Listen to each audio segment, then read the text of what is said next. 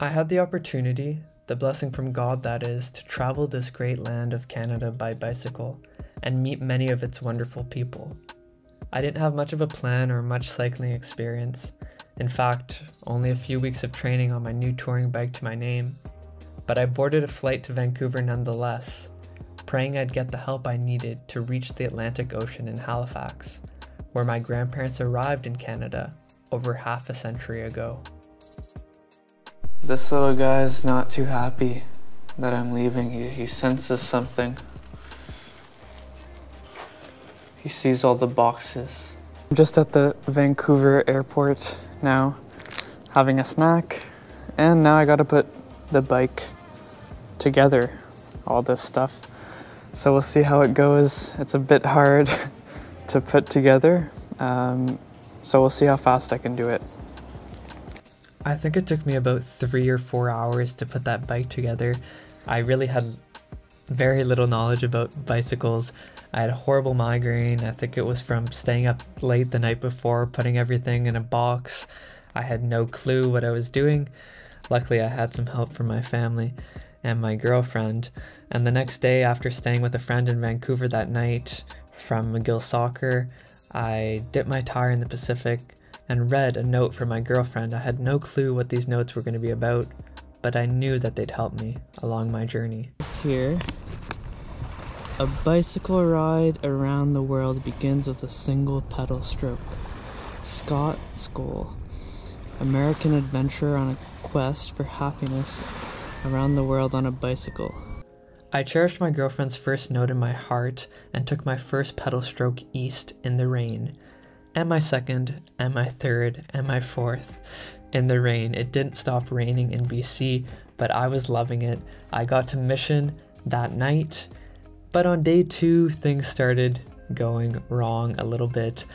My handlebar bag started slipping in the front and I couldn't ride, so I had to stop at Independent Cycles in Mission, BC, where Rocky, helped me so generously fix the handlebar bag for probably an hour and a half. It's a complex contraption, but he helped me and he told me a bit about his French Canadian family. Yeah, my family uh, immigrated to what not was Canada, was, was New France in the 1700s. So, wow. um, and then they homesteaded, my great grandfather homesteaded in Saskatchewan and then to Alberta. And my grandfather was raised in Alberta, and my dad was raised in Alberta, and I've been raised here, born and raised on the West Coast. So our uh, French Canadian family uh, has roots now here in Vancouver area. So. So do you have do you have any cousins you still keep in contact with out east or no? Yeah. Uh, well, funny enough, we have some Blondins in Abbotsford that like uh, kind of came separate ways. And uh, just recently, yesterday, I met somebody who knew my second cousin, and I've never met him. Oh yeah. And so we have family all across the country, uh, in Ontario as well. Uh, in small pockets, so it's interesting. Thank you so much, uh, Rocky, for doing this. And thank you for fixing my bike. I really appreciate it. You're welcome and thank you for sharing your journey. We're excited to see. Uh, I'm going to watch. Thank you. Thank you. As I reveled in the scenery that a kid from Toronto who thought the Humber River Trail was nice had never seen before in his life, I decided that I should check up on two worrying women, my girlfriend and my mother. He, I was thinking of your dad.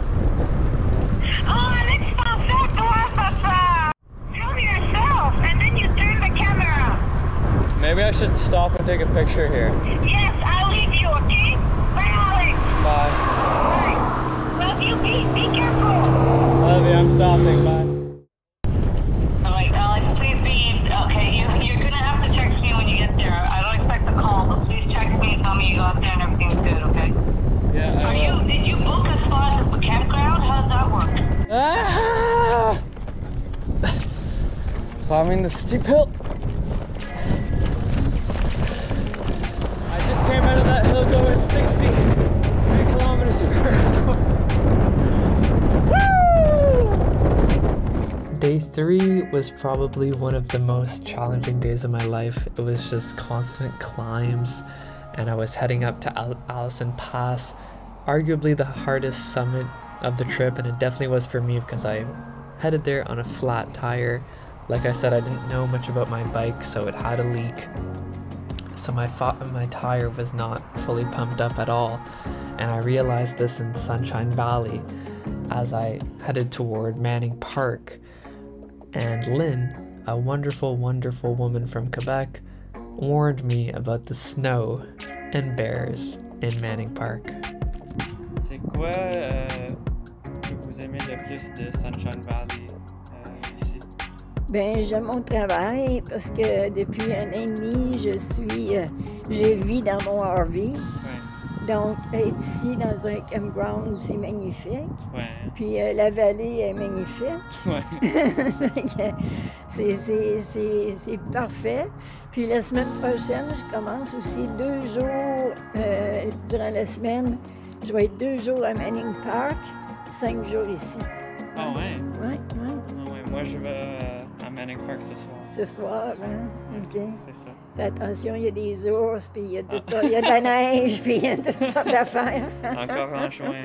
Ouais. Ouais. Alors, euh, merci beaucoup, Lynn, et euh, à bientôt. fait- mais ça me fait plaisir, puis euh, je te souhaite plein de fun, puis plein de rencontres. Ça va être cool au bout. Merci beaucoup. I don't know if you can see in there. Um, it's been a tough day. There's snow still in the mountains, pouring rain. This happened. I think flat tire. It's a journey, I tell you. I'll tell you one. I'll tell you one thing. You almost. You almost beat me. This Allison Pass summit almost beat me. 4,400 feet. 1,342 meters. As I stood there in my crazy, delirious, whacked out state from just biking an incredible day in the rain and walking as well in the rain, I made my way to Manning Park. And at Manning Park, of course, the restaurant was closed, so I had to eat chocolate bars for dinner. And I still had to go four kilometers, I found out, because Lightning Lake Campground was closed. So I headed to Hampton Campground. But I learned that everything happens for a reason because I got to stay with Julian, who offered that I stay on his campsite for free that night. And I was a bit reticent at first, but he turned out to be the coolest guy, a bird biologist. Yeah. Right now, this summer, I'm a contractor, so I've got a contract with Environment Canada to survey birds, mostly here in Manning Park, in the high elevation areas. So I go out every morning from 4:30 until 9 a.m. Crazy. Pretty crazy, and I count birds at a single point for 10 minutes and then I move to another location, usually within about a kilometer or two. So we're right now starting to work on high elevation birds uh, here in Manning Park and hopefully throughout the entire Coast Range. Um, climate change is often most strongly felt in high elevation communities. You know, mountain areas as as the conditions lower down in the valley start to creep up as climate change brings warmer temperatures, sometimes wetter or drier temperatures, it puts a lot of pressure on these high elevation bird communities that are kind of specialized on these mountain conditions. And so we're right now just trying to set up a monitoring system so we can detect changes, you know, over the decades to come as uh, these, you know, it's, it's called a, an escalator basically. The birds start marching uphill. Um, and uh, What what does that mean? Escal- escal- yeah, sorry. So it's actually kind of grim. The term is escalator to extinction, um, and that's where these high elevation species that prefer to exist at at higher, you know, mountaintop conditions. You know, they can only move up so far because the mountains eventually end, and you know, as soon as their their um, mountaintop conditions are, are gone with with novel climates, then you know, in theory, they may not be able to stick around for much longer. I went to sleep that night with a bitter taste in my mouth because of what Julian had just told me. And on top of that, all of my stuff was soaking wet from the days of cycling. My panniers were not waterproof. I learned that I had to put stuff in plastic bags in my panniers. So I should have bought more expensive panniers. But anyway, I woke up the next morning and I used Julian's lines here in his tarp to dry some of my stuff because it was soaking, soaking wet. And that was one of my worst nights camping. I could not sleep that well. I kept waking up because, as you said, it was, it's cold there, right? It's in the mountains. There was snow, so I was freezing, freezing cold. But I got out. I fixed my tire. I was I was proud of myself, and I had a nice descent that morning. Day four was another eventful day. Going up that su- Sunday summit, which was a bit easier with the proper tire on there but I was feeling so good. There it wasn't really raining. I was confident zipping down those hills. I was proud of myself for having fixed my flat tire. But I think I got a bit too cocky and God put me back in my place because I got a, an instant flat on day four. Front tire, heard it pop right away. And I went, I was like, oh, I can do this easy. I know how to change this now. But I put my Allen key in and I couldn't get the through axle off because of all the rain and I had taken it off several times to try to to put in a new tube. The day, you know the days prior the grease had come off and really law and the thing was lodged in there. I tightened it too much. I didn't know my bike. So I had to call CAA on the side of the road and luckily Randy my bike advisor had told me to call CAA uh, to sign up for CAA before leaving. Otherwise, I don't know what I would have done. Uh, I've called CAA. Hopefully, they're gonna come. Hopefully, CAA is gonna come help. Uh, yeah, that's my hope. So let's see what you have for me today. Day number four It's been raining ever since the start. It is by riding a bicycle that you learn the contours of a country best, since you have to sweat up the hills and coast down them. Ernest Hemingway. The next day, the boys at the bike shop pretty easily took off my front wheel they had the proper tool and they told me, you know, make sure that you don't tighten it too much. In addition to putting more grease on there for me because the grease had been wiped off due to the rain, but they said don't tighten it so much. So that really helped me out, that tip. And they also told me to take the Kettle Valley Rail Trail, get off the highway for a little bit. Am I good to pass? All right, thank you so much. No problem. Yeah. They're beautiful. Come flying up and they're like, what is that? For sure. Bye.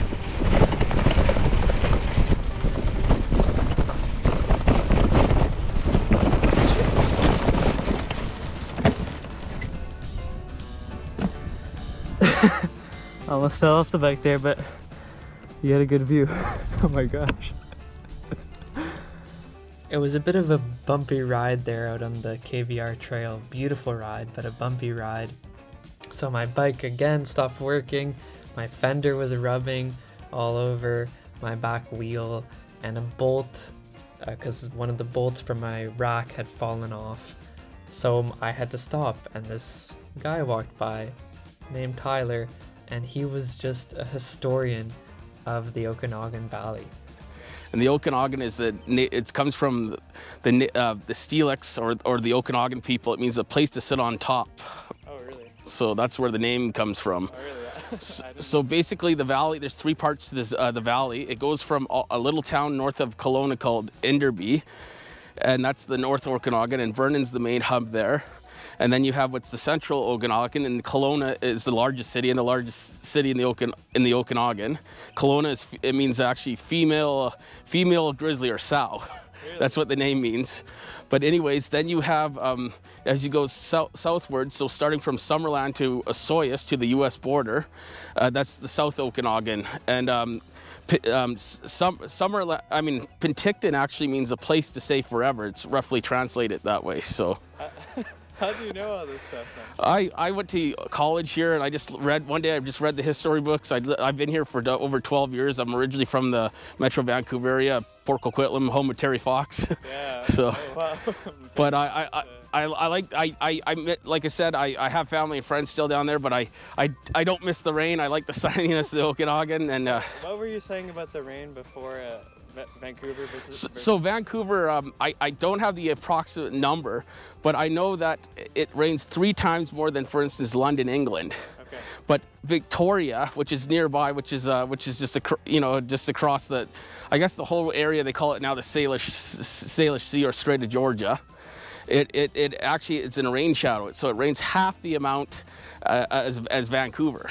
So, and you were saying before here they would transport fruit and what were you saying? They, they would transport um, fruit and uh, and any other goods uh, like timber, and um, they, this was basically an artery between uh, for um, for the nearby. Um, it, it would they'd go south like to the Similkameen or, or U.S. border, and it and it would be an artery for say to go to the to the Rockies. I made my way to beautiful Kelowna that night and stayed with the cousin of a my dad's old old neighbor, which was incredible that he allowed me to stay with him. Thank you so much for the hospitality and I got to ride the next morning with his daughter, which was amazing to have someone with me and just enjoyed beautiful beautiful Kelowna.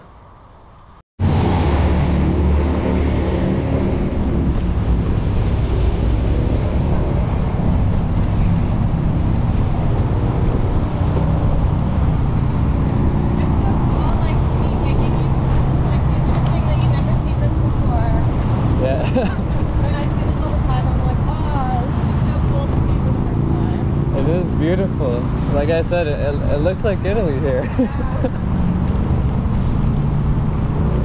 it was sort of uncanny that morning that I had met an Italian named Daniele from Italy who was working at Mountain Equipment Co-op and like any good paisano should, he hooked me up with some bolts for my bike. But we just discussed how Kelowna was so alike to Italy and how beautiful it was and how peaceful it was. But the peace of what seemed like Italy soon wilted away with a call from a worrying Italian woman. Go, go and ride your bike. You still have three hours to go. I'm riding. What do you think I'm doing? Est-ce que tu sens que, que tes jambes font mal? Uh, so that was the one yesterday, you know, you and it was the first, you know why stuff? It's because I had to push yesterday. I didn't want to be too late and you should never push, you know? Alex, moi, je trouve que tu pars trop tard le matin. For sure. Puis là, t'es dans un cycle. T'es dans un cycle qui never ends because you get there late, you you you Yeah. late. But it's gonna be different. It's gonna be different tomorrow morning. I'm making myself leave uh, by 8 o'clock tomorrow. A bicicletta siamo noi, che vinciamo lo spazio e il tempo, soli, senza nemmeno il contatto con la terra, che le nostre ruote sfiorano appena.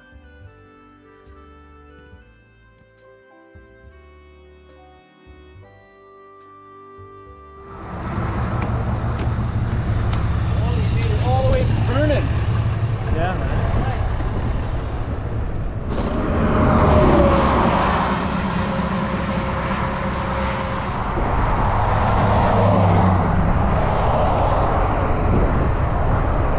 Hey Steph, I'm here at a campground in Revelstoke. It's beautiful. I have a little friend here too. I don't know if you can see him. He's following me here. I think he's the owner's uh, dog. and this was our view from the campground. Beautiful mountains. There's mountains out that side too. So it's pr- pretty beautiful. Hey buddy, come here. Hey. So this is uh, day seven, I think. Look, he doesn't want me to read it. Hey? Alright, you want the paper? Okay, so it says here, it says, uh, sorry, my bike's falling. Hills. We love them, we hate them. They make us strong, they make us weak. Today I chose to embrace hills. Hal Higdon, American writer and runner. In the rest of BC, I saw incredible trees, encountered my first black bear, zipped through wicked tunnels. Here we go. Ooh.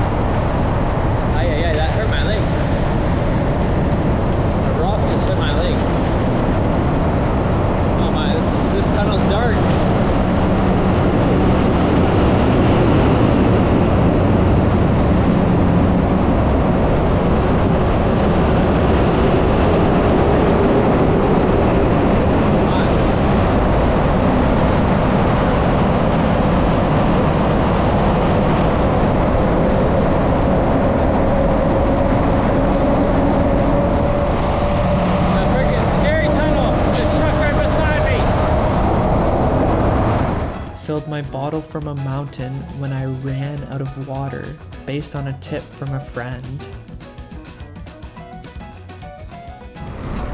Conquered Rogers Pass. Rogers Pass, baby. Almost biked into bighorn sheep that jumped over the barrier at the last second.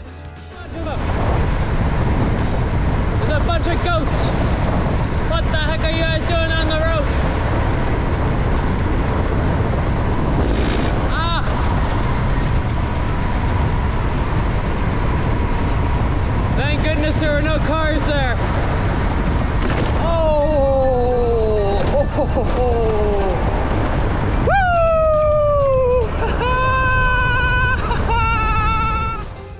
and interviewed Yvon, a great storyteller and owner of a campground in Donald, BC.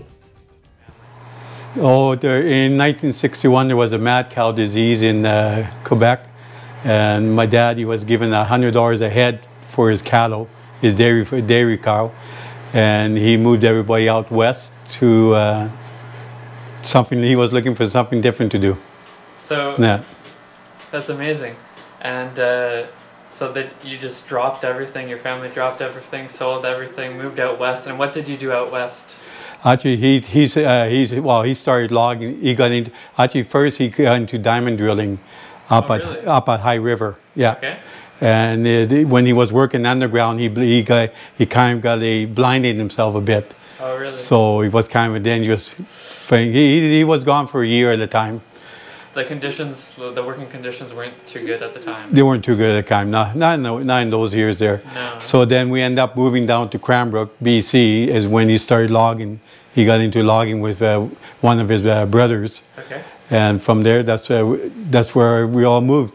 Uh, we when we moved across Canada, there was eight of us at the time, Wow. and he loaded up, put his uh, mattress in the back of the station wagon, and we drove cross country. That's that's the- amazing. Oh yeah, yeah, it is, yeah. And Yeah. uh, so when you when you came here, I'm guessing you guys all spoke French together. Oh yeah, yeah. Oh yeah. When we're when we were at at home, we had to speak French to mom and dad. Yeah. Yeah. That was the rule. That was the rule. That's right. Yeah, yeah. And did you go to French school or English school growing? No, I, in those days there was no French school. It was Okay. yeah. You you you did learn French in school. Yeah. but, uh, as a regular subject, but no, it was all uh, English school. So I'm sure you were the best in your class in French for sure. Oh, oh yeah, we, we, we, it wasn't that bad. Yeah. Yeah, yeah. I, I mean, it is a totally different French what they talk about for in school than, you know, the Paris French instead of the uh, Quebec French is totally a, quite a bit of different words in eh? For sure, for sure. Yeah. And uh, is there any French community around here in BC? Uh, actually, there is. Uh, there's a, a French school here in, in Golden itself. Really? And yeah, and there is a lot of French people around Golden area here. oh yeah. Yeah, that speak French. I didn't know that. So, are they new immigrants, let's say, from Quebec, or when did they come here? Their family. Oh wow! See, uh, in the logging the industry, there's a lot of French people that came up and did logging there, Okay. and so this is uh, Golden is a good, big logging town. Really? Uh, yeah, and there's still quite a few French families around it, around the Golden area. And after conquering the hardest province in the journey by far, I entered Alberta and got to see Lake Louise, where I met someone who became a good friend of mine, Romain, who was a fellow bike tourist. Et c'est quoi euh, que vous faites maintenant? Quel voyage euh, ici au Canada? Au au Canada, en, en raison de la COVID, euh, j'ai euh, dit je vais venir en Colombie-Britannique avant les mesures soient sévères. Le 15 avril, j'étais parti pour quatre mois. Euh, et euh, là, ils ont mis les mesures plus sévères, donc j'ai resté ici pareil. J'ai fait attention à ça. Puis mon genou a fait mal, ça fait que je vais raccourcir mon voyage un peu, le genou, un peu d'un mois. J'irai pas au Yukon. J'étais supposé d'aller vers le Yukon puis revenir en, en Alberta, mais là, euh, on est en Alberta aussi ici, là. Fait que Colombie-Britannique et Alberta, mais mostly Colombie-Britannique, là. If someone were to come to Canada to do some bike touring, what would you suggest? What would be the first place you would say go go here? I would say uh, if they are not don't know well uh, bike touring, I, won't begin by uh, British Columbia and Alberta with all the hills. Yeah. I will begin by some things suffer like in Ontario a lot of path in Quebec also a lot of path all rail or rail rail train road so that's it's more flat and uh, things like that and uh, begin by a couple days and after the weeks not for 10, 10, 10 months in a row Yeah, but so uh, start short and one. And but you can do a long, long trip without experience. You will made your experience by uh, harder way, I will say, during your trip. Hey Steph, uh, it's day 10 already. Can you believe it? That's incredible. Let's open up, see what it says. I just met a really nice guy, Romain. Did a great interview with him at uh, Lac Louise.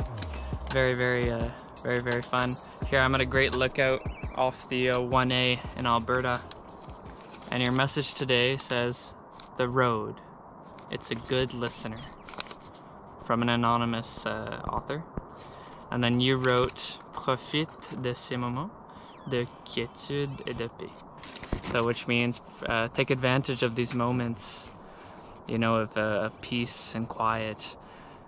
After those 10 days in BC and the beginning of Alberta, my legs were just dead. They were fine those first 10 days, but day 9 and day 10, it was getting rough. They just felt like jello a little bit. So I was really fortunate to be able to stay with my brother's legendary friend, Slemko, whom I'd never be- met before, but I'd soon find out that he was an interesting character. Matthew, do you think you'll end up here one day? Do you think you'll live here? Maybe. Let's see where the path take me. Exactly. You're a good canoeer, man. Thank you. You're good. I'm not doing any of the work here. Yeah, you're good. Here we go. Under the bridge.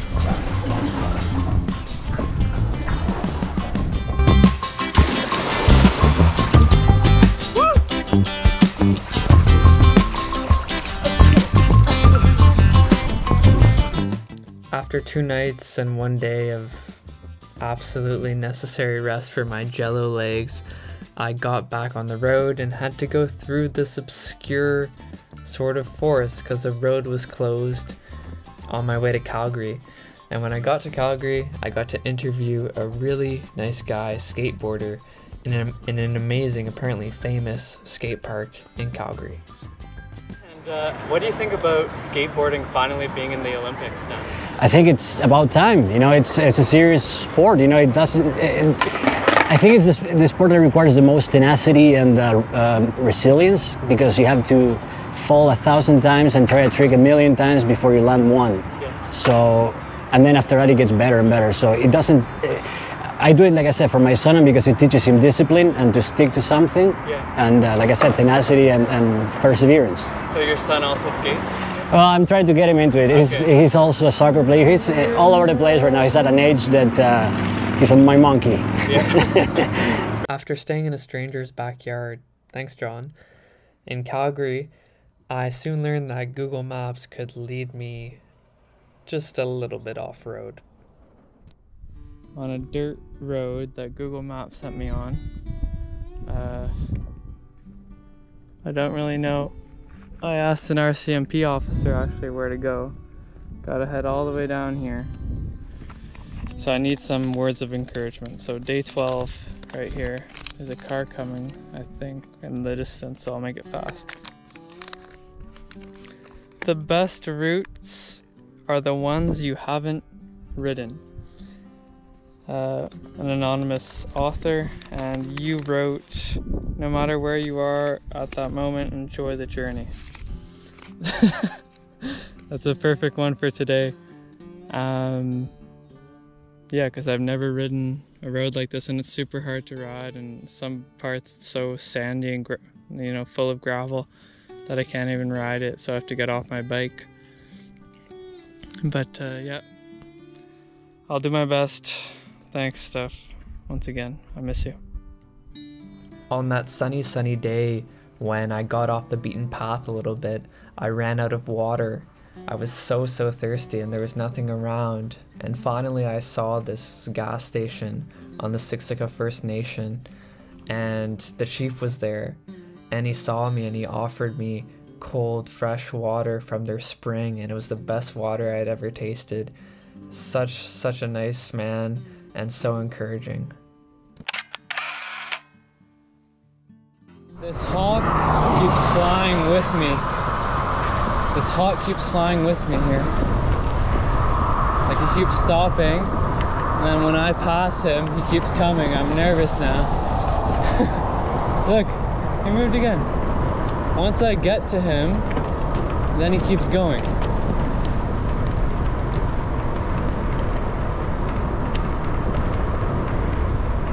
It's right there. Look, he stopped. Let's see, once I pass, is he gonna come with me? See, he's coming again. You look here. Oh, now he's turning around. Hope he's not coming to attack me now. He kept doing that for a good couple minute, two minutes. Hey Steph, I'm uh, here in uh, Saskatchewan. Sorry for the noise. It's pretty much exactly two weeks into the trip. Uh, it's been a heck of a ride, you know, thus far, and uh, I thank you for all your words of encouragement. So, uh, day 14, let's read your little message here. Um, I'm fired up. Here we go, Saskatchewan. Okay. Day 14, day 14. No matter how slow you go, you're still laughing everyone on the couch by an anonymous author. And she wrote, like Steph, you'll think. That's not true. I know you're working hard. Saskatchewan!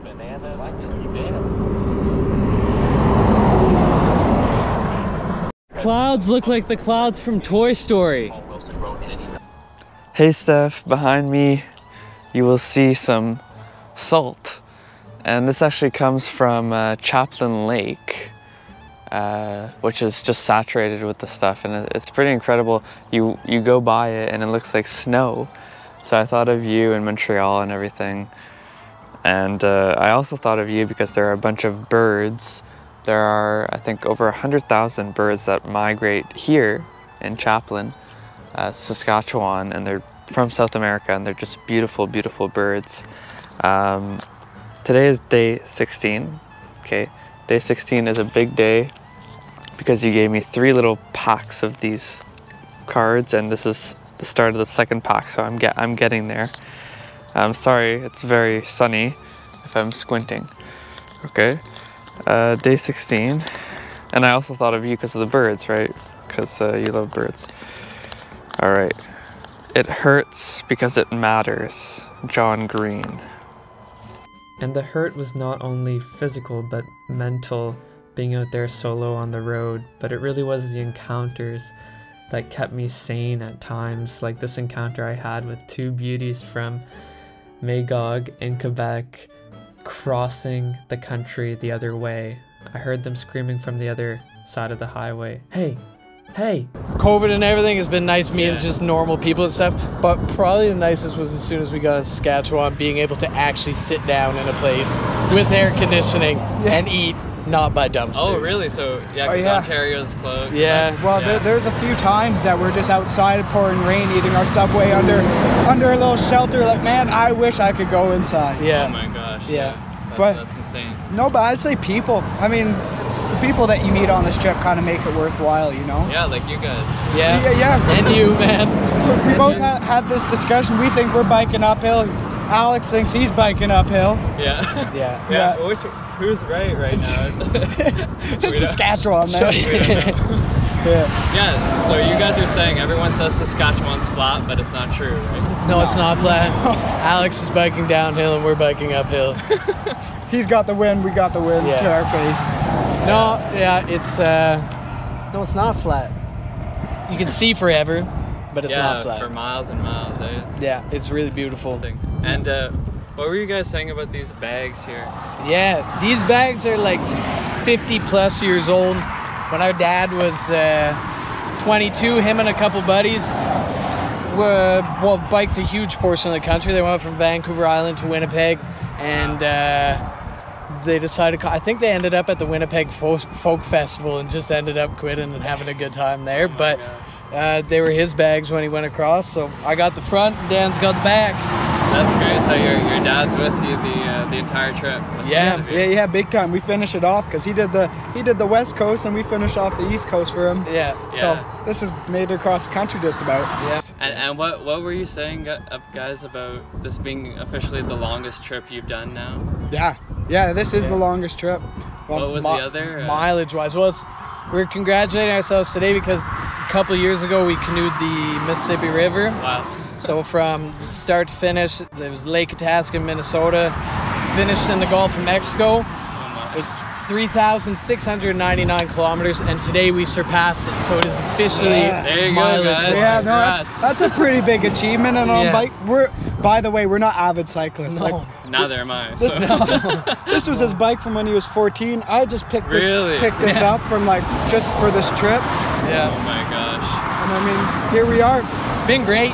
Let me ask you one question. Have you guys fought at all on the trip? No, No, yeah. No? No, That's No. good. I don't think so. on, on the on the Mississippi though, out of 71, we had one day. One day. But other than that, on bike, you just you know to leave your distance. Somebody's having a bad day. And I was right. Oh yeah? Uh, so we're, we're raising money for Central West Coast Forest Society, and they're uh, based out of Ucluelet. Okay. Uh, it's a non-profit organization. They do salmon habitat restoration. So they remove log jams. They uh, plant trees and shrubs in riparian zones. They uh, put spawning gravel into the streams. They're basically just trying to bring the the these salmon spawning streams back to a use like a, a usable you know a usable stream that the salmon that the salmon can actually like thrive in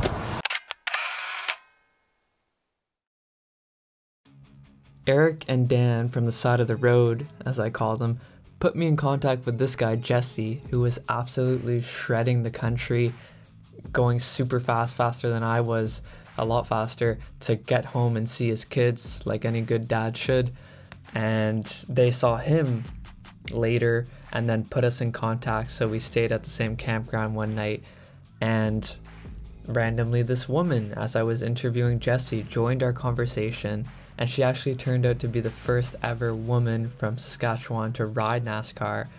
and the first ever Indigenous woman to ride NASCAR. It's too bad she told me that after the interview. I would have asked her some questions about that.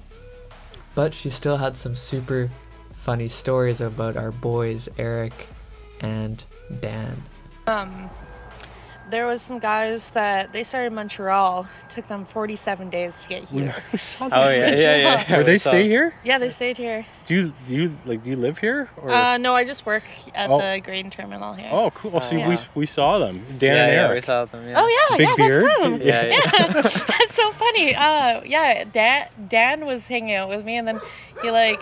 I don't know if you got like a heat stroke or something, but Oh, like yeah. he just like like went like this and collapsed. I was like, Are you serious? I was like, I had my first aid, but I was like, oh my god. Really? Really? In, Yeah. the, in the nighttime or? Yeah, during- it was in the night.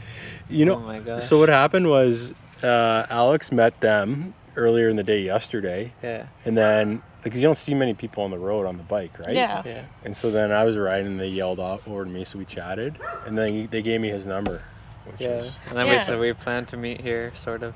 Yeah, they're- um, I race cars.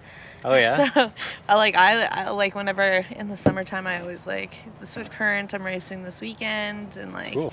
yeah, I, I do that a lot in the summer and fish and Oh yeah, hang out with my dog. That's awesome. As I entered Manitoba, I started to see trees again for the first time because in Saskatchewan there was absolutely no tree cover. And I also started to understand why Canada was so good at hockey. Hey Steph, I'm uh, here in MacGregor, Manitoba, and I'm starting to understand why uh, Canada is so good at hockey. And uh, this is why. Because all these small towns have these rinks. That's that's pretty much all that's there, and uh, that's all they have to do. They play hockey, and it's it's amazing.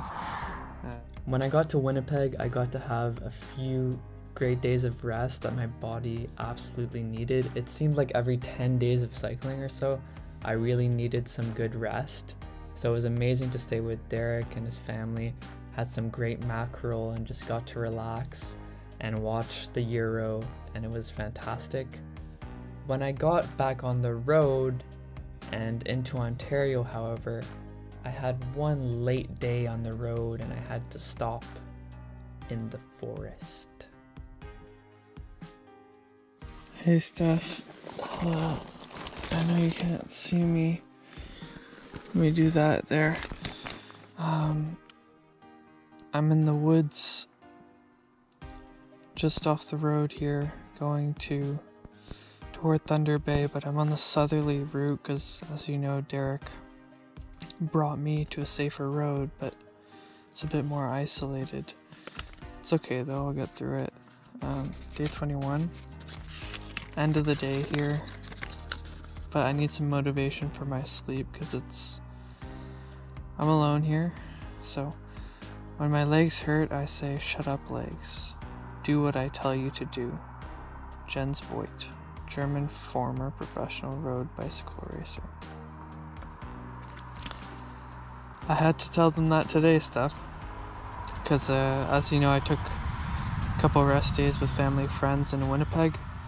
And uh, just telling my legs, get back into it, get back into it. So, I'm to do that tomorrow. Try to do a big day to Thunder Bay tomorrow. So, fire it up. Here we go. Look at all those mosquitoes on the outside of my tent. All you could hear outside last night was everywhere. Outside. Could probably still hear it. I had to kill a bunch of them. That's the life out here in, in the woods. But it was my fault because I got here too late. Get here late, even a second opening up this tent, then you're screwed. Hey, Steph. So this is where I slept. The road's down there. I came up a little cliff, locked my bike, put the alarm there, but there's no one around here. This is a very isolated road. As you can see, there are no cars passing by. Um, but yes, today is day 22. So uh, what we'll do is we will read your little message. Uh, your message, your messages. You know, I just thought last night of your messages and pushing through, and even if even if I'm alone here uh, in the woods, uh, I had you and my friends and family and, and God with me. So day day 22. It says in French, Tant que je respire, j'attaque. As long as I breathe, I attack. Bernard Hinault. So this was a French cyclist from 1975 to 1986, right? Um, and he won troisième. Anyway, he participated in the Tour de France. I don't want to delay it, but um, thank you, Steph. I uh, yeah, I'm breathing. I'm I'm I'm, uh, I'm going here. Uh, not much water on me right now, uh, and there's not much for the next few hundred kilometers, but we'll see. The next place to stop, I'll get water. I'll be fine. I have a lot of food, so we're good to go. I love you, and I'll see you soon. Heading to Thunder Bay on the 11.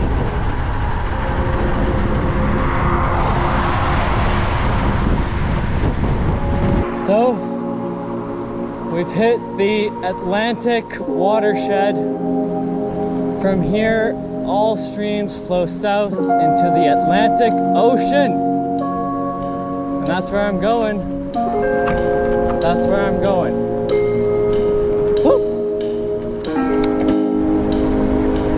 This is the home of the Staal brothers.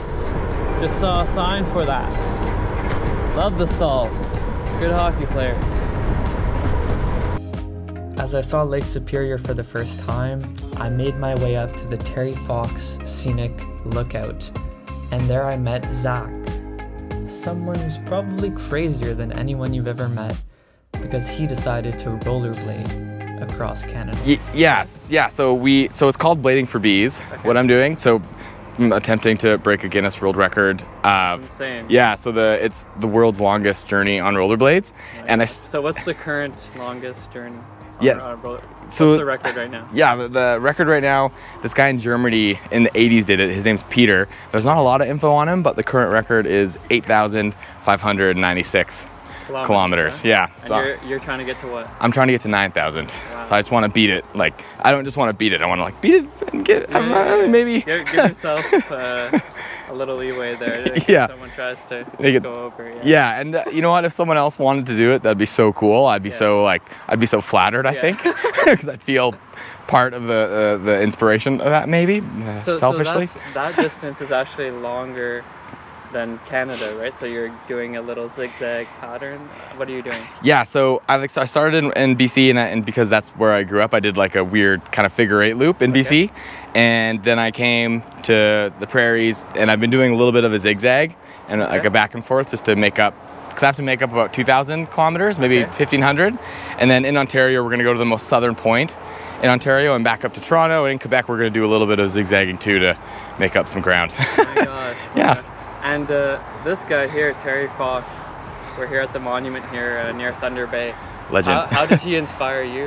Uh, Oh man, well he it's it's he's obviously like a, a like a Canadian like icon and hero, and I think he's like uh, yeah. I'm, I was actually thinking about this yesterday when I was skating. I was like, there should be a movie ab- about Yeah. about him. Um, and well, like, he's actually from the him and my dad and my grandpa are all from the same town, and my grandpa was a teacher, and he always says like he used to see Terry when he was like a kid, but I, Oh, yeah? I mean I don't know if that's actually true, maybe. but who, who knows? It's my grandpa, and he's all that respect. Yeah, yeah, yeah. Everything. You, you don't say anything. You, just let it go. Yeah, but I mean, who knows? Maybe he did. true. Yeah, yeah. If he was If a it's the teacher. same town. Sa- right? Um, but I met a guy actually in uh, Vancouver, and he's like, "Yeah, my mom went to school, same class as Terry Fox." oh, wild. Yeah, crazy. Yeah. Yeah. it's just so wild. So he's obviously, it, it and when you're skating and, and or, or biking, which is equally as crazy. uh, it's I don't it's, think so, It's all, it's all relative, I guess.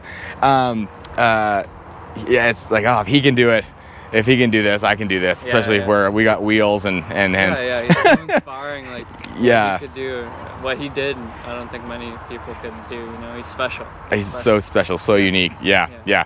So yeah, it's, it's definitely yeah, it's, it helps to think think about him and yeah, Yeah, yeah. yeah. Sometimes I think His it, legacy, yeah. yeah. So Yeah. how many how many kilometers are you doing per day? Uh, per day, I go on average about 120. So in the Rocky Mountains, I was doing like 70, 90 ish a day. How, was that scary going downhill? It was pretty scary. Literally, what you do, you have to like wait on the side of the highway because the shoulders are so rocky sometimes, Yeah, as you know. eh? Yeah, and then in BC, and sometimes they're small, so you literally wait. You're like, okay, there's, I think there's a big gap in traffic, and on rollerblades, the a pebble will like hit your rock, and you're like, oh. So I just like would go on the actual road, and and just hope no semis would come. And if like a big truck would come, I'd kind of be like half on the road. Usually, I try to make eye contact with them and and give them like, oh, I'm sorry, like a dumb wave, like, oh, thank you. and then hopefully they'd slow have down. You, have you wiped out? Uh, yeah, so I actually, uh, don't tell my mom this because I haven't told my mom yet because she would just cancel my whole trip. But in Alberta, I hit like a patch of dirt and I fell and then it's all, it's, it was like, it was like about three weeks ago, but I have a big scratch here and on my hip and up here and I fell and I actually knocked myself out. Like you really? cold, yeah. So I was in. I went to the hospital, and uh, I went to the hospital, and I had like a CT scan, and everything happened. But but the doctor cleared me. He's like, okay. He was like this. He actually loved bees as well, so it was kind of perfect. He's like, and he was um, from Europe. I'm not exactly sure where, but he, this is my like horrible impression of him. He was literally like, we need to get you back on the road, Zach. it was so funny. And he's like, you need to wait five days. But I waited, so I waited two days. But kind of just like flip the five backwards. The same difference, Oh right? Um, but then I just like started super slow, and if I ever felt dizzy or or like any like kind of concussion symptoms, I, I, I stopped. But I actually never felt any. But I started slow, and then now I'm back to full strength. I. 'Cause that- Did you you hit your head? yeah, I don't remember anything to be completely honest. I remember skating past my sister who's in the support vehicle. And and then I remember waking up or I remember being on the side of the road on the other side of the highway sitting on a patch of grass and I was on the phone with her. And that's there's like the gap which is really kind of crazy and there's actually Careful, man. I'm- Yeah, I'm for you. I got a I got a new expensive helmet. that that's oh, yeah. Were you wearing one at the time? I was wearing a helmet. Oh, 100%. If I wasn't, it probably would have been pretty bad, I imagine. So wear your helmets. I always, we're, we have a lot of like little kids following us. Yeah. Oh, uh, yeah? Or following the journey. Yeah, because uh, so it's called the Blading for Bees. It's actually a not-for-profit that I started as well. Oh, wow. So I, have been a carpenter my whole life, um, like building fancy custom homes for rich people, and um, learned so much. But uh, I want to change my direction in life. So uh, I started this not-for-profit. So in the fall, um, I'm trying to like put together like a mini curriculum and programs. We're gonna go and talk to students uh, and just get them super like fired up about like climate change and the environment. And yeah, so yeah. So yeah, it's, it's really like relative, especially uh, like nowadays. But Yeah, yeah, and, That's yeah. what I see all these amazing things when on the trip, and you're like, are these beautiful mountains gonna be here? Are we gonna be here? Yeah, right. Are, are these like old growth forests who, yeah, it's and it's so wild how, uh, because like things obviously need to change on kind of like a government level, and but everyone kind of needs to. No one needs to like drastically change, but we all need to make like small changes. Yeah. I think it's so important. Um, So, so how? yeah. How you were telling me a little bit before how even on this trip you're trying to keep your footprint small. How have you been doing that? Um, so pretty much we, so I have uh, a van that I built and I bought out. So me and uh, my team, so it's pretty much just my sister. We had a couple of random friends come in uh, and help us for like a day or two or a week, uh, but mainly it's just the two of us. And we do everything out of the van. And I have like a whole solar system installed. So all like our charging for like the GPSs and our laptops and everything is all solar. And yeah, so it's pretty sweet. So and we do we don't have we I couldn't afford an electric Yeah. van because they're like hundreds of thousands of dollars. But um, so so it is uh, like a it's actually a diesel van, which isn't obviously great Yeah. for the environment. But I think it's a really cool kind of example that because we can't obviously just like stop using fossil fuels Yeah. right away. The the, two transition, the trend there needs to be we need to work together and and and because yeah, it's not gonna work if we all just like are fighting all the time. Yeah, yeah. You yeah. Gotta, you gotta transition properly, and And the end goal should be to get away from it, right? That's that's what we're doing, and that's what you're doing on this trip, right? Yeah, attempting to. Yeah, trying to get people fired up. But yeah, I think it's cool. Yeah, it's do, pretty Do you sweet. think you'll be tired of rollerblading after this trip? Will you say I'm throwing these away, or I'll definitely be sick of like marathon rollerblading because the skates I have kind of like speed skates. Yeah. Um, but maybe, uh, probably for at least a few months, I'll be like, I'm gonna take a break. yeah, me too on the bike. I know. I was gonna say. I was gonna. I'll be like, uh, yeah, yeah. I'll leave this uh, in the garage for a little bit. yeah. We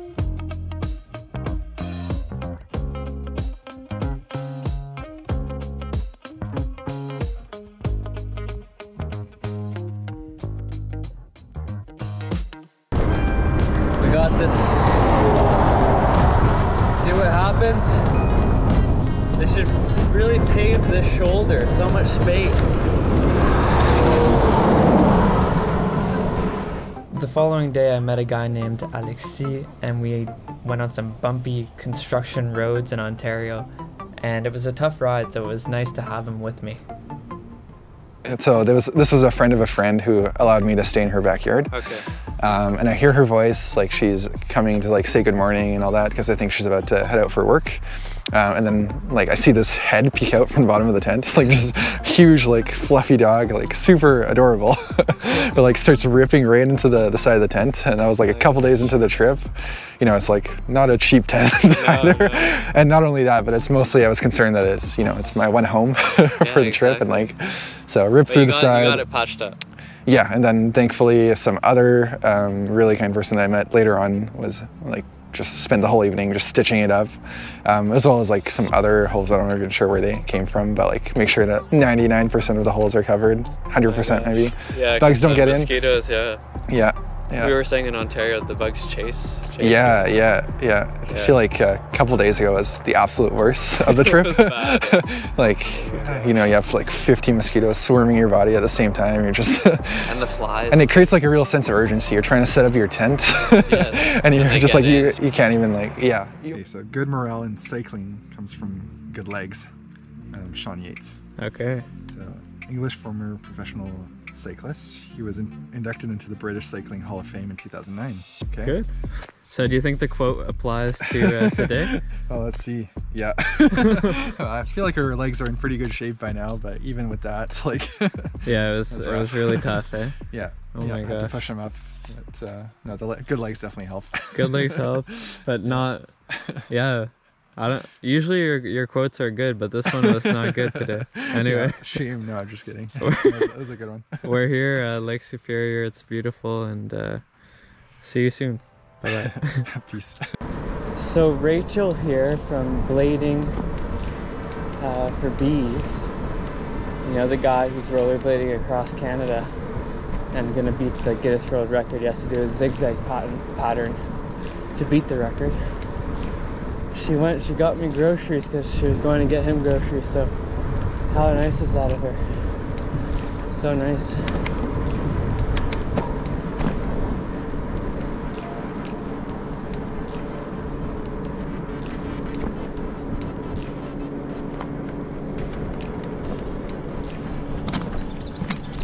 Hi there. How are ya? Thank you so much, eh? Oh yeah. Oh my gosh. After doing a shorter day with Alexis, I left him, and actually Zach had made up some ground, so we stayed on a campsite together. We're day 25. I'm gonna get him to read it. I feel honored. Yeah, you should. Look how beautiful she wrote all, all this. Yeah, and There you go. folded everything. Yeah. Should okay? Should I just go for it? Go for it. Haha. Uh, to me, it doesn't matter whether it's raining or the sun is shining or whatever. As long as I'm riding a bike, I know I'm the luckiest guy in the world. Mark Cavendish, British professional road cyclist. He's considered one of the greatest road sprinters of all times. That's pretty good. Yeah. Being on Yeah. your bike, magical. It's a magical, Do you feel the thing. same way about your blades? Hundred percent. Yeah. Yeah. Alright. Very lucky. Wow. Thank you. Yeah. yeah, your your reading was on uh, on point there, man. Yeah, you were nervous. I know. Uh, heart's beating pretty quick. Alright, thanks. Bye. Stuff. It's uh, day 26. Just woke up. Bit of a sleepyhead this morning, but we want to get an early start with uh, our blading for Bees' friend. I tented out here. We're at White Lake in Ontario. Day 26. Let's open it up. Crashing is part of cycling, as crying is part of love. You're gi- you're giving her, eh? Yeah. yeah, we're going pretty quick. We're, uh... Yeah, we are. Let's, 200, bro.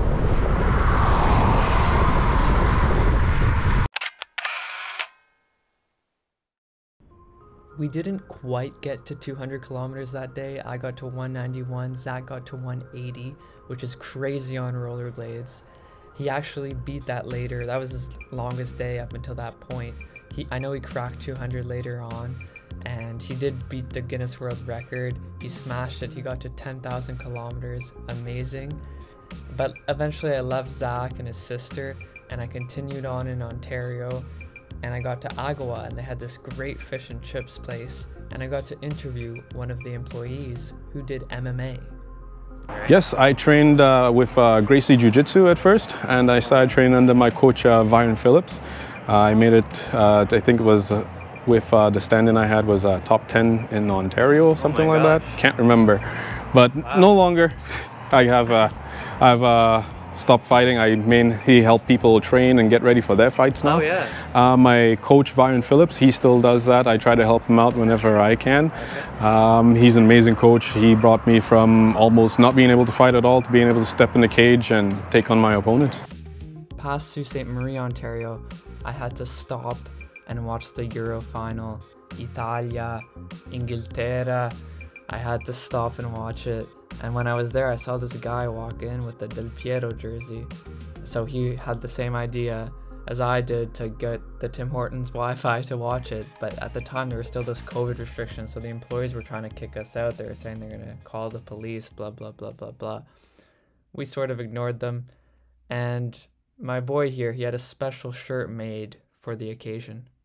Today I'm here with Abdul and Italy just won the Euros. Look at his shirt. It's not, It's not coming home. Wh- When did you have this shirt made? This this shirt was made right before the England Ukraine game, so that's how confident I was that England wasn't going to make it and win the whole Euros. And uh, I'm pretty happy about it. If you, if you actually go close in, you can see that we removed some of the flowers from the three lion heads, and each one of the lions is actually crying. And I've got a nice little quote on the back here. Yeah, look at this. Football is a sport where 22 men chase the ball for 90 minutes, and at the end, the English are always bitter because they haven't won anything since 66. And uh, guess what? It still stands true today because Italy just took home the Euros. They did, they did. Don't worry about that. All right. Uh, so, what did you think of uh, England's performance and the game? you know what? With a team with that much depth and a team with that much investment from like foreign, you know, I don't know, investors and whatnot, like their league is the best league in the world, is what they claim and whatnot. Yeah, and all this hype, the media is all over. Uh, for them to, to get to the final and then choke on a level like this uh, is is laughable in my opinion. I think that I think that you know. It's uh, not, but like Italy's a good team, right? But it's a, it's they assumed they were gonna win because they were at home Yeah, and it- it's it- coming home. They didn't even have, they didn't win a Euro, right? Exactly. They've never won a Euro. It's been what like 55 years since they've won an international trophy, and even that is debated. They say that the '66 World Cup, you know, is questionable. Yeah, yeah. but they, they say that that might not even have been theirs. And um, for them to be so overhyped and underperform every single tournament since I was a kid, this is just you know it's another another day at the office for for, for the English team. You know, like it's like overhyped as always. So I mean. Congratulations to them for making it to the final, but uh, you know they're gonna have to try again.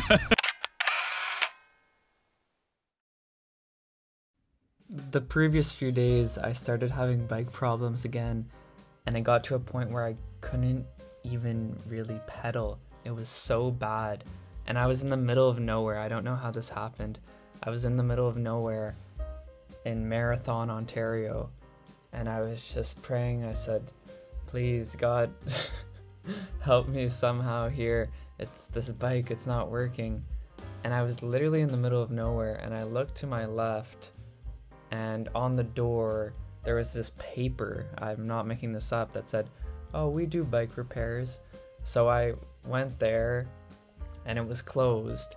But this guy was walking by with his dog, small town Ontario, and he said, "Oh yeah, that's my dad. Uh, uh, let me go get him. So he took about 15 minutes, walked his dog, went back, got his dad, and they came back. Two guys from Newfoundland, actually. And they did their best to just get my bike up to speed so I could ride it back to Toronto where I could fix it up. Originally from Toronto, so I could fix it up at a bike shop because the chain had been stretched.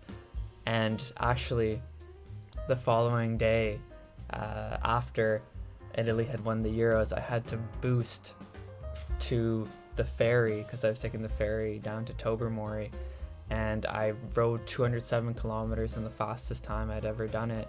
And when I got there, they said the ferries, you can't ride this ferry because of COVID, blah, blah, blah. You need to be here four hours in advance. It was ridiculous. I took my gloves like a little kid and I whipped them against the wall. I was so, so upset.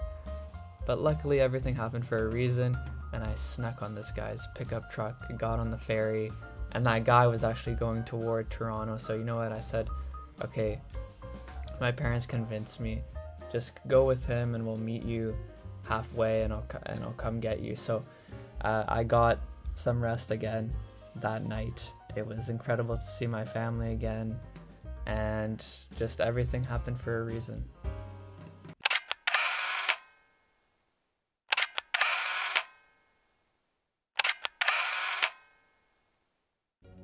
When I was in Toronto, I had to get my bike fixed, obviously. So I went to Chain Reaction, a great shop in Etobicoke, and I spoke with Leslie, who had given me some advice before the trip, even some great advice that saved my life a few times going into the drops down on the hills. And she saved my life a few times because I, I might have died out there. But anyway, she's a, a former professional cyclist, amazing woman, and so caring, so kind. Yeah, so my career in cycling um, really started with the trip, and when I came back from that, um, I'd had a love for cross country running, okay. and I realized that you can actually, on, with with cross country mountain biking, you don't have to run, but it's kind of the same thing. You're going through the woods and enjoying nature and and riding your bike. So. I thought I'd give it a try. So in 1992, I started racing um, in the provincial Ontario Cup cir circuit. Wow. Um, and because I was fit from having ridden across Canada the year before, I opted to go in the 40 kilometer event, which was actually the expert category. And I didn't realize, and at that time they weren't super organized, so they didn't tell me um, oh what they didn't tell me that you're supposed to start in beginner and work up to sport and then to expert. Okay. Just sort of said, hey, what category are you in? And I said expert, and there I was. So I jumped right in there. Jumped right in there, did the first three races in O Cup, and then that um, September. Uh, it was September uh, 1992, and it was the World Championships in Bromont, Quebec. And I signed up for it in the expert category, planning to go on the Friday and then hang out and watch the big race on the Sunday or the Saturday. And when I was there, or sorry, a week before I got there to the race, they called me and said, "Hey, we don't have enough uh, expert women, so you'll be racing on Saturday with the pros." Really? And I was like, "Oh, but I I told them about the confusion, how yeah, it really yeah, should have yeah. been." And the girl on the phone was like, Well, have you ever raced expert before? I'm like, Yeah, three times. She goes, Well, then you're racing pro.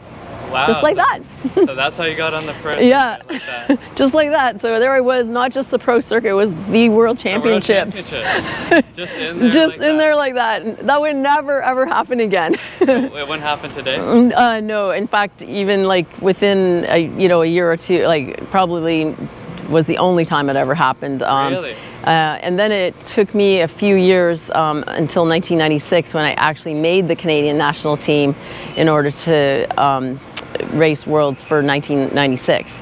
Amazing. So, so we're talking mountain biking. Yeah, cross country, cross -country mountain biking. Mountain biking. And in the day, um, we have a bike here. This is not the exact uh, frame that I used for that race, but it's one year later I had switched. All the parts are the same parts I used in that 1992 race. So the full XTR um, has an uh, Ibis titanium stem, Merlin titanium bar, Merlin titanium seat post, and um, it did have a um, Rock Mag 21 on the front.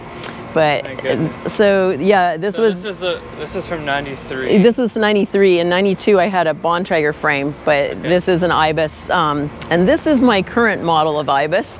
That was a Mojo, this is a Ripley. This is a really cool bike. eh? and this one also has a little bit of my custom design artwork on it. Uh, I'm an artist, and uh, there's this great company called Bike Shield, and they um, will custom make any graphics you want. And so I created these. Um, this is my Screaming Trees bike, and these are my little Screaming Trees with all their cute little slogans on there. so, what was the idea behind that? The screaming tree. Uh, there's a trail in Peterborough. Peterborough's my hometown, and there's this. Uh, it's called the Harold Town Conservation Area, and at Harold Town they um, have some really cool trails, and my favorite is Screaming Trees.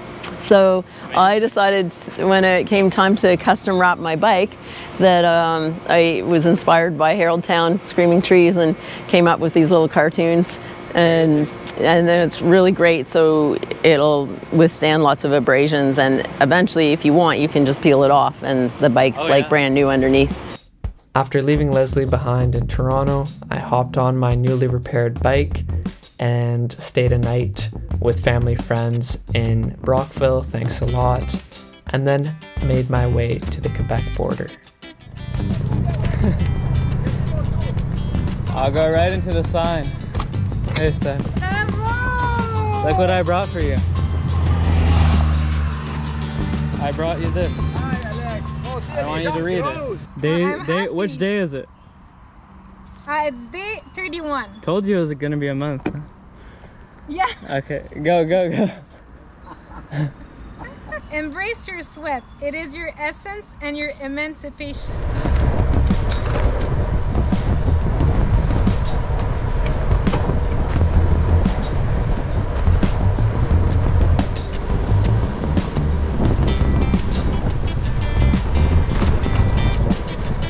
Who, who's your favorite professional cyclist today? I think that was, uh, you know, the dopings came after. eh? Yeah, yeah. Well, in my time, that was not the doping, but I, I saw, okay, Bernard Hinault, uh, Eddie Merckx, and when you see the the, the way Eddie Merckx by, uh, take the, all the the race, you know, Yeah. win the Six Jours de Paris 11 times.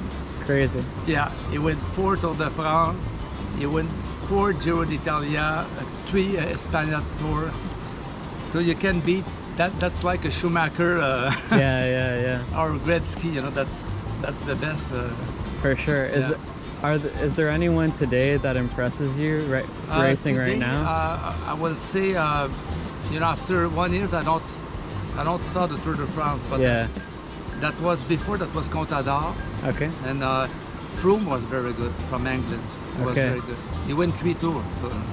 And what about that Canadian guy who's uh Yeah, that's uh, Michael Woods. Yeah. Uh, he was in the Tour de France this year. Yeah. He finished in the top five in a few steps, but he was 38.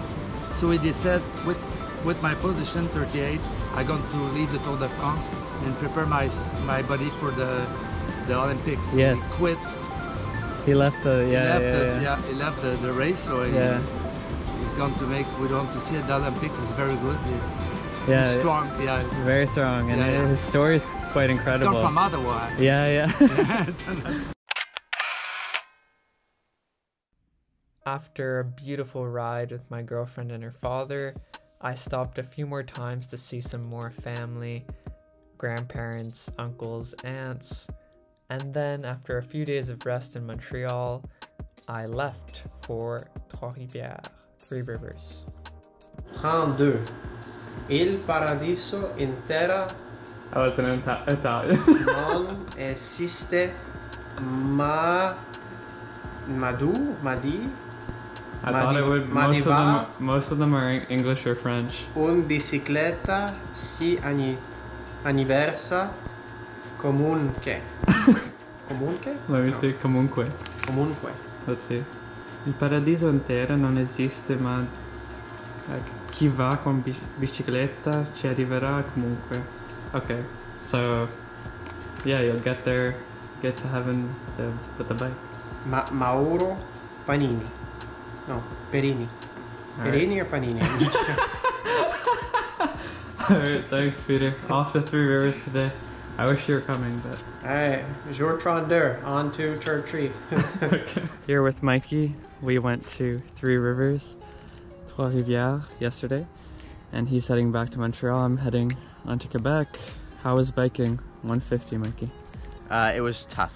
It was a lot of fun. I'm glad I did it, but the mental battle, like the ups and downs, was it was tough. But I'm happy I did it.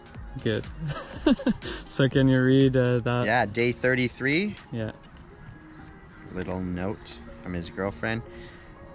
Your bike is discovery. Your bike is freedom. Doesn't matter where you are. When you're on the saddle, you're taken away. Doug Donaldson. What do you think? Do you agree? Yeah, it is. Your bike is discovery. Your bike is freedom. I said it yesterday.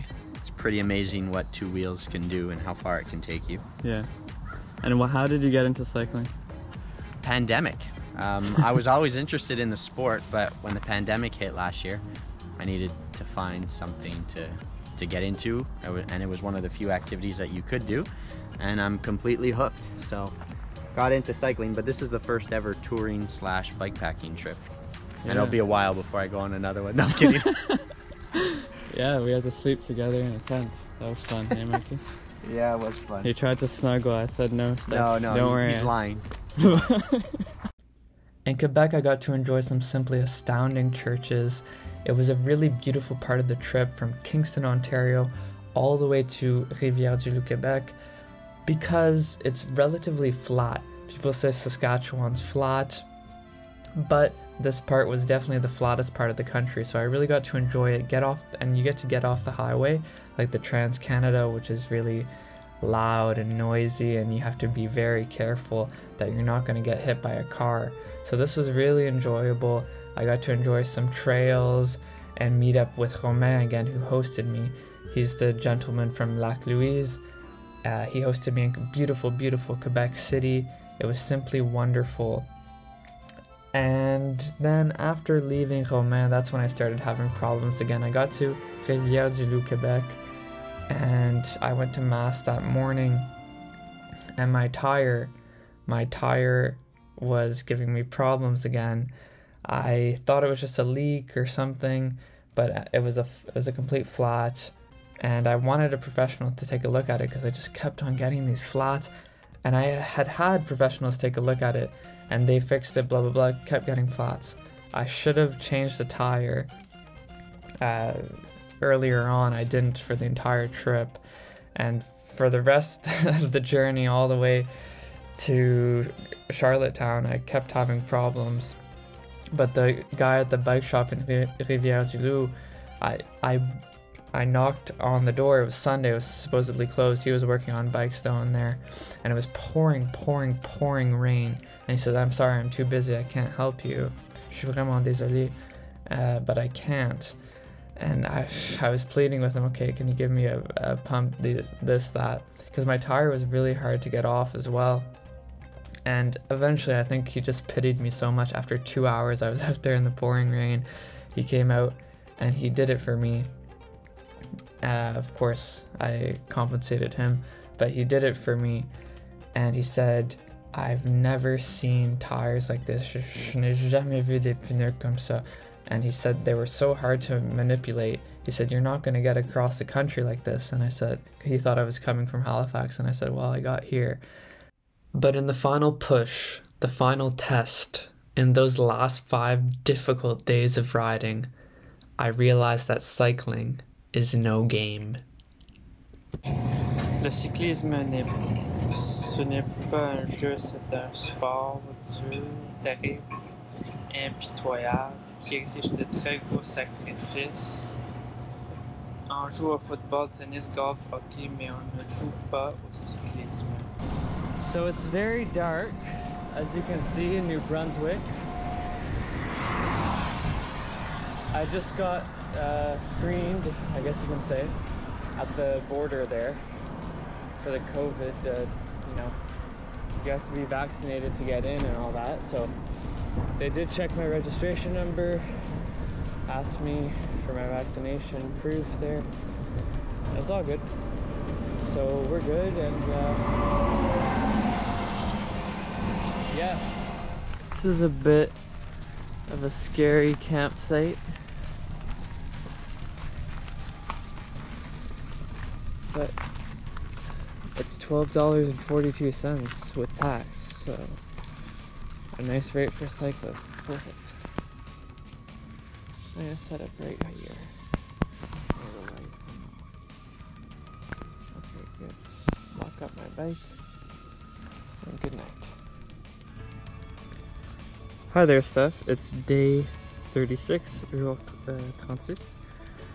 And I'm just at a provincial park, the first provincial park when you enter New Brunswick uh, to go through all the COVID screening and all that stuff that they do.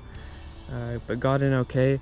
Right when I put up my tent last night, it just started pouring out of nowhere, pouring. I mean, it had been raining quite a lot the whole day, but it had stopped and then it just started pouring out of nowhere. So my whole tent got wet. It was a disaster. I had to use my towel just to get a nice dry spot in my tent and then put in the mat. And like you guys know, had problems with patching it up and all that yesterday. So I didn't sleep last night, or sorry, two nights ago. Uh, but last night I just conked out here. It was beautiful. Had a nice warm shower. $12.42 for this beautiful provincial park campground for cyclists. Um, that's pretty cool. And this, is the first one that they have these, um, you know, bike racks here where you can lock up your bike. Uh, so that's pretty cool. And I'm really happy about that. I'm just letting everything dry. I think I lost an hour or I'm going to lose an hour quite soon. Um, I think I've already lost it. And uh, I've got to do 350k by tomorrow night to get to a family friend's house in St. Stephen. So I'm really looking forward to it. Let's read day 36. And thank you again to the guy who helped me with the, the old front tire. So this one, I see it as a short one. Unleash your legs. That's not a player. That's not a player in the National Hockey. Okay. Like he's under contract, not a player. I repeated those three words in my head incessantly on days 36 and 37. On day 36, I stayed with a family on a family farm because the campground was closed. I just asked, and they were the nicest people, offered me shepherd's pie. And on day 37, with 230 kilometers left to St. Stephen, everything went wrong. My gear shifter, uh, the cable snapped early on. Then I got a flat with 70 kilometers left, but I got there safe and sound. And the next day, I interviewed the family on in the Bay of Fundy. Where are we now? We are in Oak Bay. We have the Bay of Fundy behind us, and we're in New Brunswick. Perfect. And uh, what's so special about this uh, Bay of Fundy here? So, this Bay of Fundy, the water comes in every six hours and it goes completely out every six hours. So, it's absolutely freezing because it's all the tide's always coming in and out, and you can only swim at like at a certain part of the day. Okay, and uh, where we're standing right now, Yeah. when will it be full of water?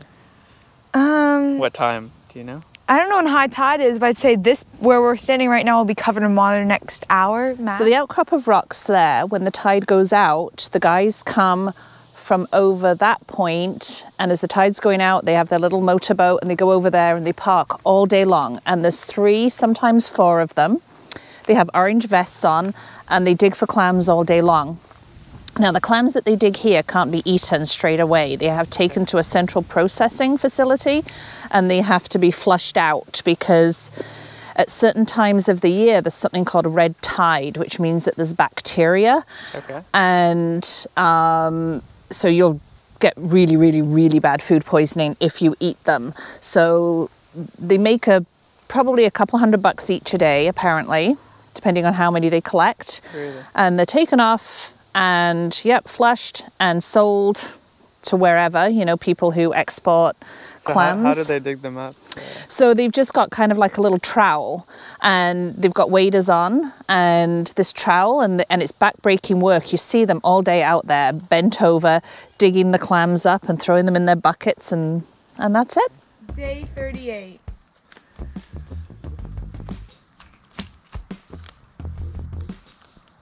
Commitment is pushing yourself when no one else is around. Anonymous.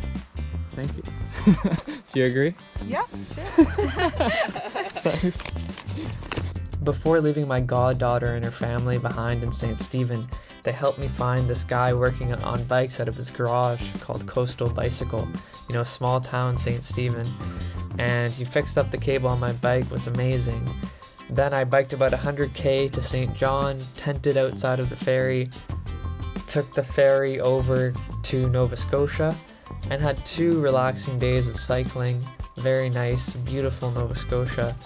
And my trip ended in Halifax, as you probably expect.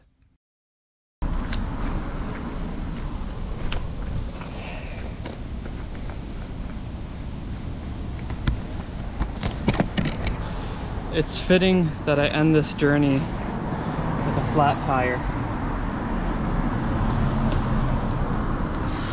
Because I've had so many. I had the real temptation to go and essentially throw my bike into the Atlantic Ocean, dip it in there, and complete the coast to coast journey. But I wanted to wait for my girlfriend. I knew it would be a special moment for us. I didn't tell her that, but I knew I wanted to wait for her to do it with her because both of our grandparents arrived in Halifax along that Atlantic Ocean and Pier 21. So I wanted to wait for her. We wouldn't actually dip it in the Atlantic until a week later because we went spent a week going around Halifax, renting a car going up to the Cabot Trail, and of course visiting the Pier 21 Museum. How do you feel to be at Pier 21? Uh, it's really emotional. Um, it's it's so nice. We had a guided tour, and it was so nice to learn how uh, our grandparents came here, how the process was, and what they had to go through. Um, it makes us grateful. It makes me grateful. For example, I can talk for myself, but uh, it makes me so grateful for um, everything that they've done for us, and uh, it's it's a day that I'll remember for sure forever. And did you like the cabins and all the stuff? Yeah, it was it was really nice because they kind of recreated um, uh, how it was back in the days, smaller. Uh, so we can see the the cabins, um, how was the immigration process before they, they actually saw and met How with they a, confiscated food how they everything. yeah yeah The train. yeah how they went on the train and um, uh, yeah we're it's it's, It's all the crazy stories, because yes yeah. because we're we're seeing what we've heard of for years and years and years and um, the fact to see even luggages and the uh, the plates that they were eating in on, on the, the boat is, is, is pretty special, I'd say. And to, to know that, you know, the boat came from this side and arrived here and we're walking You during can't the visit. see, it's very foggy. Yeah. During the visit, the, um, uh, the tour guide said, well, now you're stepping where your ancest- ancestries... Um, Ancestors. Yeah, ancestors stepped for the first time and that was that was pretty emotional because Yeah. it was the first step in, in Canada. Yeah, yeah. amazing. Yeah, yeah. Before finally dipping our tires in the very port in which our grandparents arrived and continuing our journey to Charlottetown, we had a pleasant, beautiful little vacation seeing where hockey was invented, visiting the place of the Acadian deportation, chilling on the beach, bathing in waterfalls, eating wonderful maritime food, seeing where John Cabot arrived, meeting Gus, the oldest gopher tortoise in the world at 99 years of age, Gus, uh, Gus is the same. He can bite pretty hard when he has to. Have you ever been bitten by Gus? I'm not, Oh, yeah. Lucky. joking around, Watermelon. Do you think that it's sweet?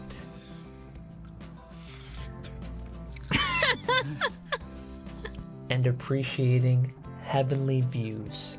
They will never know the beauty of this place, see the seasons change, enjoy nature's chorus.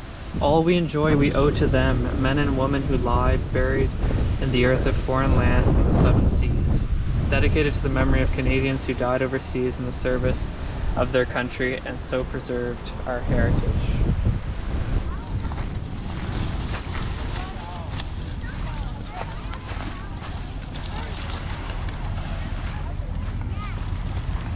There it is.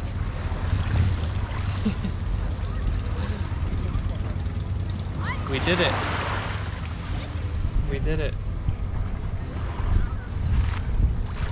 I was just saying before, it's, it's insane how our grandparents arrived right there, you know? And ending the trip here, it's, it's pretty special. Alright, you got yours. You're starting yours, we're going up to Charlottetown, or Cavendish, and then back to Charlottetown, flying out. It's the beginning of a long journey, are you ready?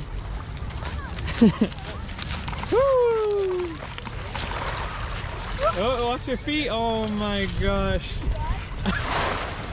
She got her shoes all wet. well, your grandparents arrived here too, so that's that's pretty special. Let's let's go to Charlottetown. Here we go.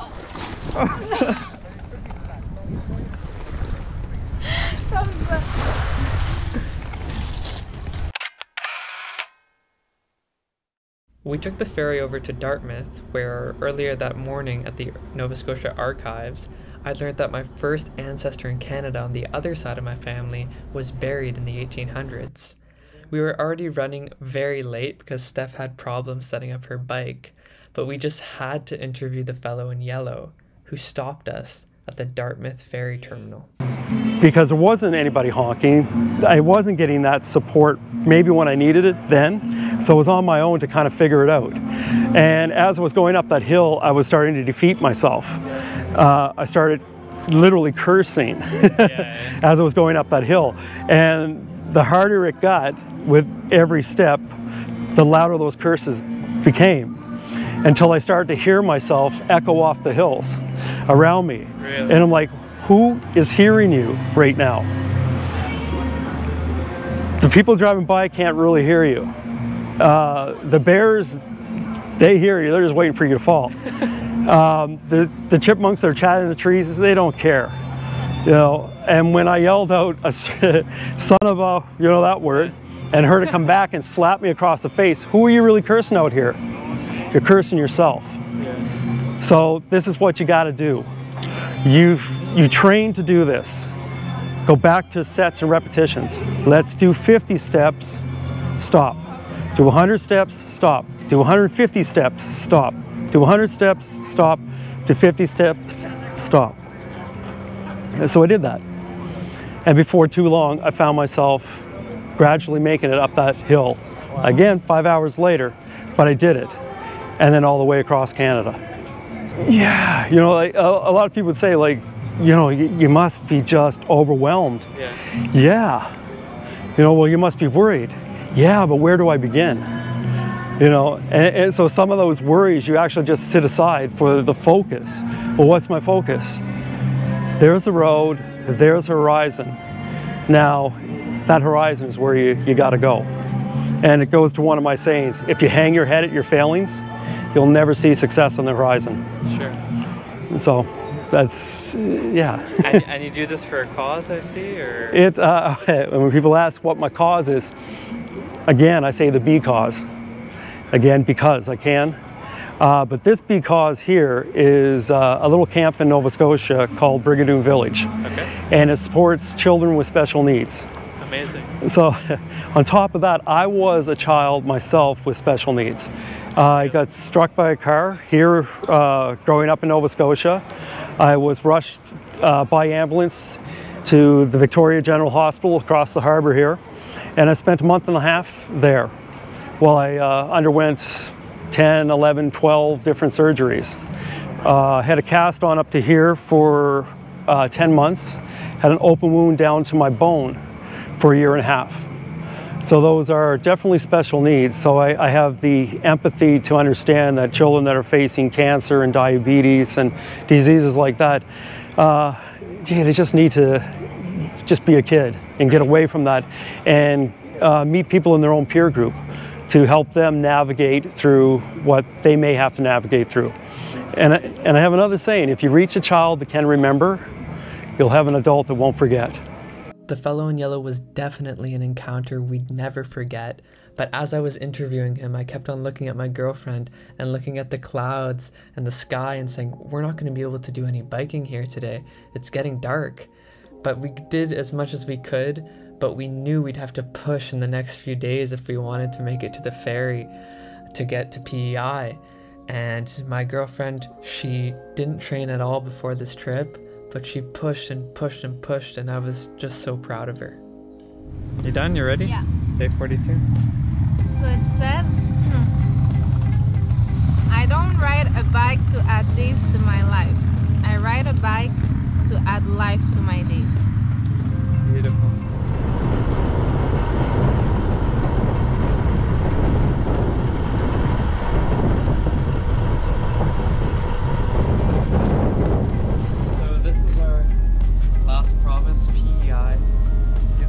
Red there, beautiful. It's day 43. Let's read this really quickly because we gotta go. Don't buy upgrades. Ride upgrades. Get it? Eddie Merckx. And you had some hills today you weren't too happy about. Uh, I wasn't too happy about either, but we got through it. And we're getting through this journey together onto our last province here. So uh, thanks so much for watching this, and uh, yeah, maybe one more day of this of this trip. So stay tuned for beautiful PEI, the smallest province in Canada.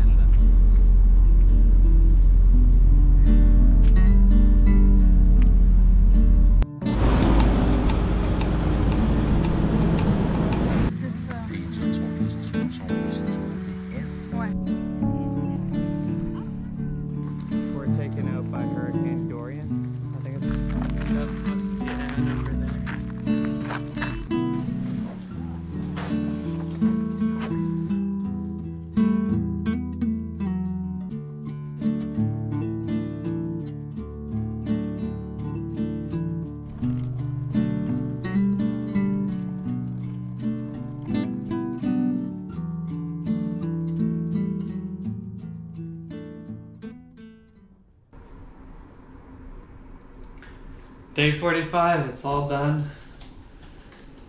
Uh, what can I say? We'll see what this says.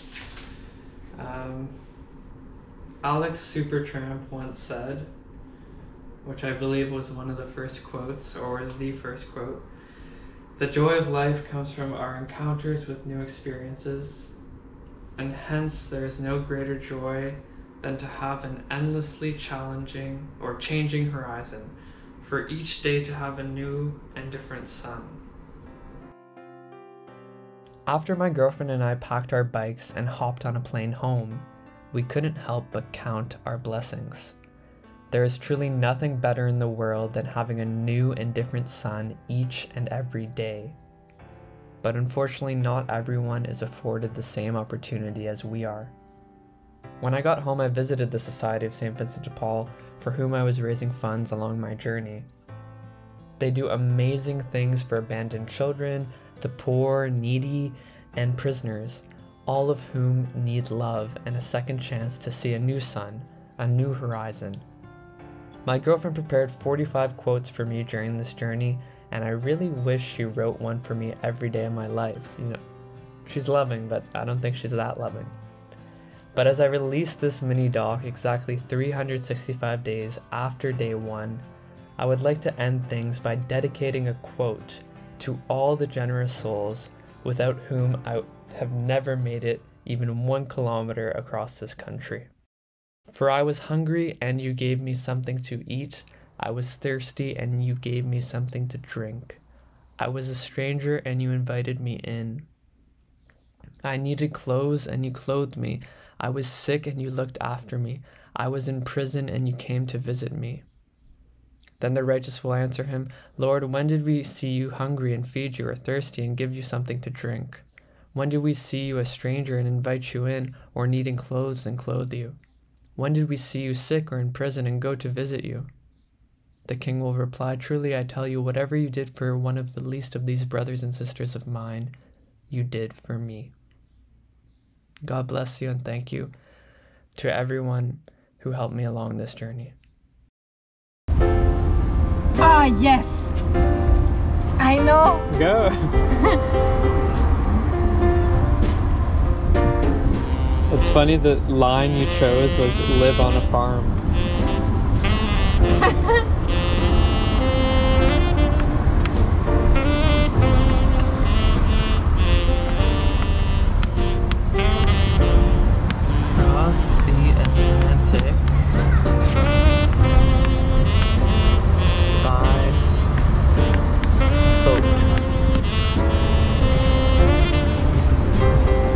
good one. And I will. okay, you better. Whose writing's nicer? Yours. As your teacher. Oh yeah. What do you think being in Newfoundland? Do you do you think that you're different from the rest of Canada in a way? Yeah, in a way, it has its own like distinct culture, our, our own way of speaking, our own food. So I guess there is like an extra bit of pride we have. And I guess when you're there in Newfoundland and know you're born and raised in Newfoundland, you kind of get that extra bit of respect from the people. For sure, for sure. Uh, could you share something uh, that they'd say in Newfoundland that I wouldn't know? For example, maybe. Uh, where did your father fish to? Like, does that mean where are you from? Where did your father fish to? Wow, that's a good one. That's a good one.